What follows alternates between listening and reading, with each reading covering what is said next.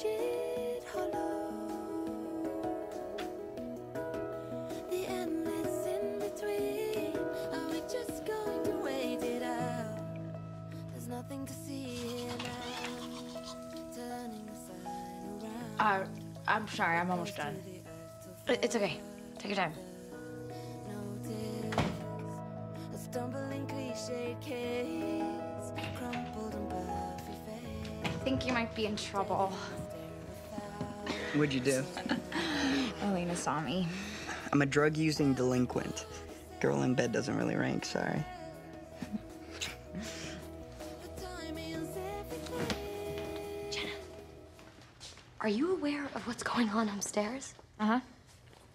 And you have no objection. You could be craftier about it. At least make an effort to sneak her in and out. Oh, and uh, just so you know, I won't be home for dinner. Oh, so you're actually going to do it. You're gonna go out with Logan. I'm gonna show up and torture him, yes. and have you heard from Stefan? Not since he left that very vague message three days ago.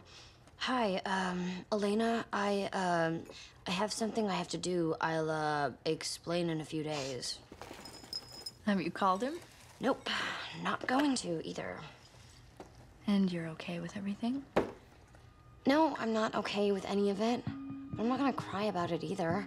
You know, I was gonna write in my diary this morning, and then I thought, what am I gonna write? Honestly, I'm not gonna be one of those pathetic girls whose world stops spinning because of some guy. Okay then. I'll be fine. He's awake. He's weak, but it's probably best to stay out of the basement. He's Damon. Not sure how dangerous he still might be. You're going to school? Came here to live a life. It's about time I get back to that. And Elena, if she's still speaking to me. Why haven't you called her? What am I supposed to do? Feed her another lie? I hate lying to her, Zach. I'm not good at it. She already thinks I'm hiding something. What choice do you have?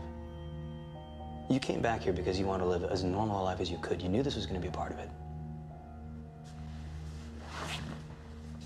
I remember the party.